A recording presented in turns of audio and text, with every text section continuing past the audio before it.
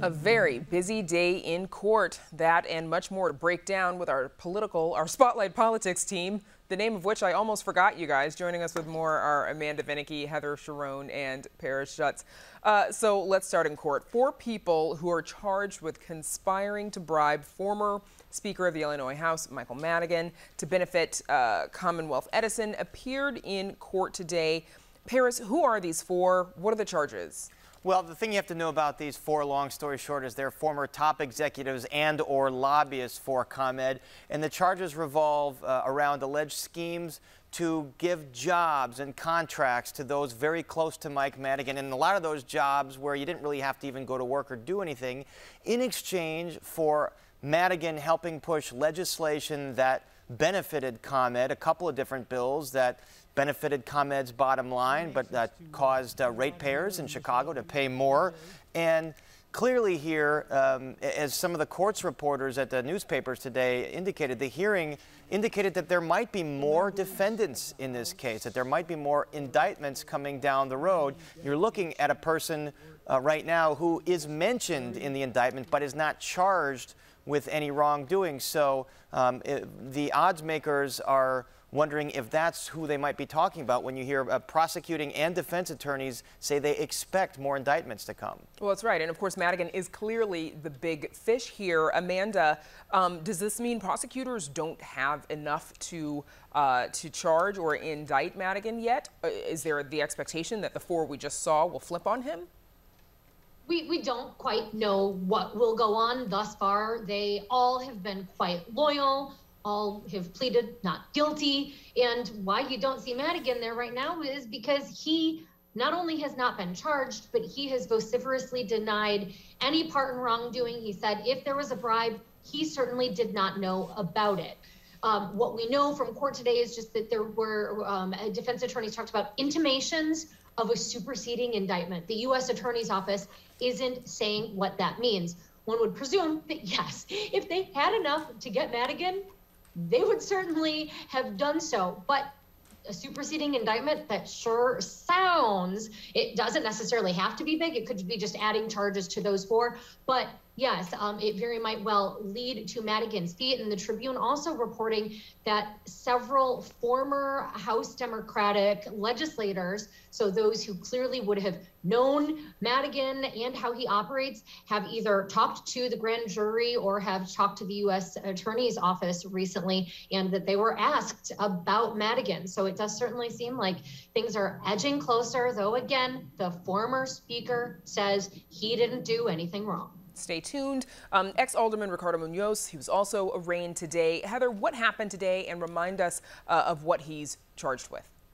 Well, Alderman Munoz pled not guilty to 16 counts of wire fraud and money laundering. And this dates back to alleged conduct from 2016 to 2019 when Alderman Munoz was both the chairman and the treasurer of the City Council's Progressive Caucus. He is accused of taking more than $38,000 from the caucus's political action committee account and using it to buy all sorts of things, including trips and jewelry and clothes and to pay a relative's college tuition. That's entirely illegal. You can't use political funds for personal purposes. We have a whole range of Illinois politicians who have gone to jail for doing just that. But Alderman Munoz says he is not guilty and he is due back in court next month as the trial progresses. Alderman Patrick Daley Thompson was charged Friday with income tax evasion and lying to investigators, which he denies. He is scheduled to be arraigned on May 13th. Here's what the mayor said today about whether he should step down.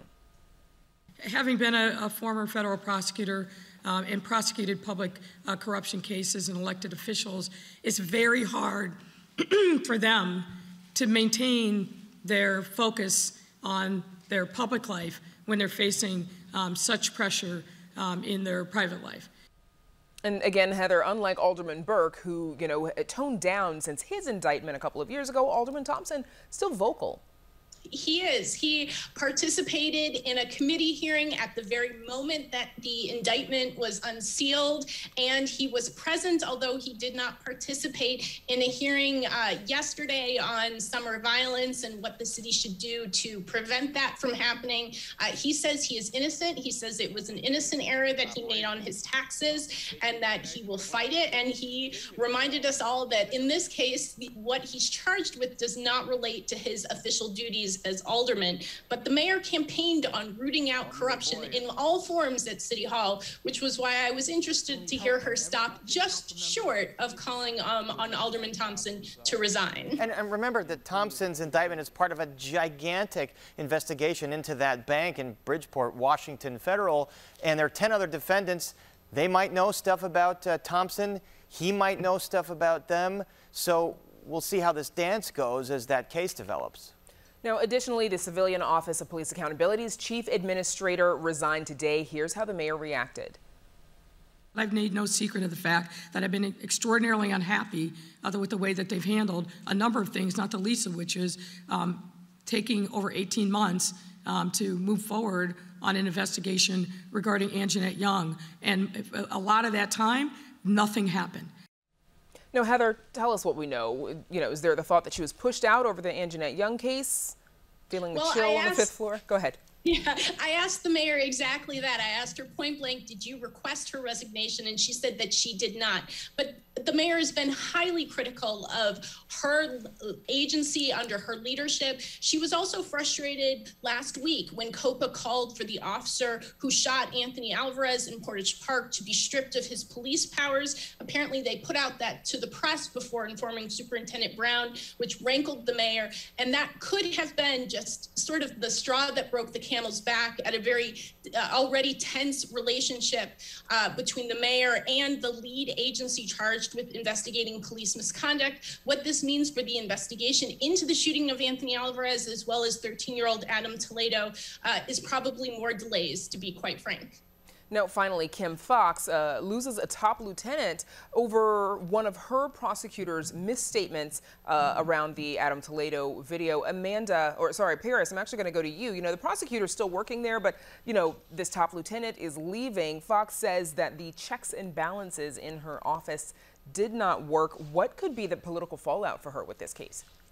My guess would be not much, Brandis, because uh, remember the Jussie Smollett case and the mistakes that were made there and confusion over whether she had recused herself or not. She didn't pay a political price for it. She still won re-election pretty handily. So, the, you know, the views of the state's attorney in Cook County to, tend to center around ideologically whether or not you support the approach uh, to prosecuting. So, I mean, th this is kind of like a similar little hiccup here, maybe a smaller hiccup than Smollett was.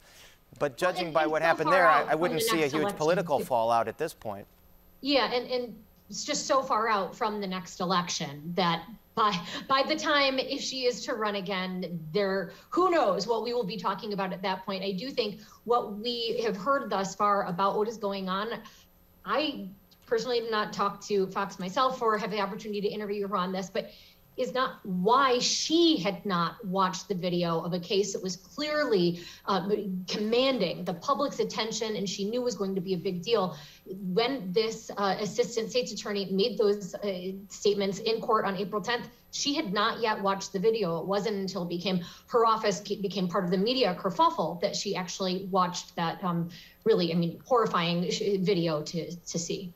Um, so some other politics, the hearing on renaming Lakeshore Drive after uh, DuSable, that exploded on Monday. Heather, you reported uh, that the committee meeting was raucous and profane. What happened?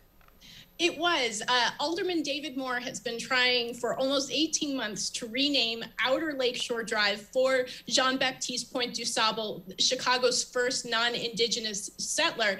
And at that hearing, the city's transportation department came out with new ordinance they said would do that, but he didn't believe them and he erupted in anger, saying that they had sandbagged him and basically introduced a last minute change. So at the end of the hearing, which lasted for more than three hours, uh, they passed that the original proposal, which does not legally define Outer Lakeshore Drive and is opposed by Mayor Lightfoot. So at this point, it's really anyone's guess what happens before the next city council meeting the, it, later this month. But something will have to be done to make this change legal because as we discovered during that hearing the city's code doesn't define outer lakeshore drive although everybody who lives here knows exactly where it is um, aldermen, violence prevention advocates, uh, they also want the city to use federal relief funds to rethink the summer approach. Paris, shootings are already up this year. What are they proposing? Well, they're proposing a lot more money for um, violence intervention programs, you know, the mediators that go in as disputes heat up and, and try to get in there before they turn violent. But, you know, the issue is that there are more people with guns. More people are carrying, more, more youth are carrying, and everybody I talk to on this issue says the same thing, that there still isn't enough resources for over uh, the overarching services that are needed, like mental health, like job training. So the gang, the violence prevention is one piece of it. But until, as we all know, I mean, violence has has a million different causes. Until those root problems aren't addressed, it, I'm very skeptical that throwing more money at something like violence prevention can really bring those numbers down for the summer. Now, before we run out of time, we know that CPS is uh, losing another CEO after years of, of, sort of the back and forth with the Chicago Teachers Union. Uh, Janice Jackson is leaving. Heather, Dr. Jackson's two top administrators are also leaving, uh, and we've heard some other announcements of folks uh, leaving in appointments in, in recent months. Is this a brain drain for the mayor? It, it's not a, a, normal amount of turmoil. And I asked the mayor about that today. I said, Is this an indication that there are significant problems at your city hall? And she said, Look, it's been a difficult year for everybody. Everybody's taking stock of their lives and what they want from their lives and, and maybe making decisions to, to change. However, the mayor will have to fill several high profile positions just in the coming weeks. Uh, today, we did get an announcement that Celia Meza will become the city's corporation counsel. If she's confirmed by the city council, she would be the first Latina to hold that post. Uh, another indication that diversity is very important to Mayor Lightfoot. Okay, and lots more positions uh, to watch as she fills them up. Thanks to the Spotlight Politics team, Amanda Vinicky, Heather Cherone, and Paris Schutz.